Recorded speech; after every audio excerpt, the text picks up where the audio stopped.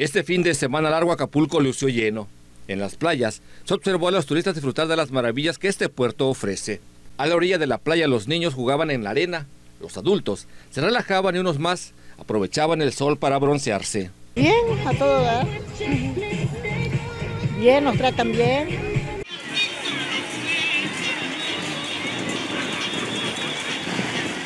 Súper flexibles, muy bien.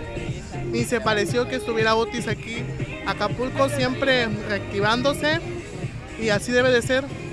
Este domingo, segundo día del fin de semana largo con motivo del natalicio de Benito Juárez, la ocupación hotelera de Guerrero alcanzó el 88.8%, destacando Acapulco con un promedio general del 92%, seguido de Ixtapa con el 90.5% y los pueblos mágicos de Cihuatanejo y Tasco con 77.2 y 74.8% respectivamente. A la fecha, Acapulco cuenta con poco más de 8.300 habitaciones de hotel. Les ha informado Hugo Sandoval Alcaraz para RTG Noticias.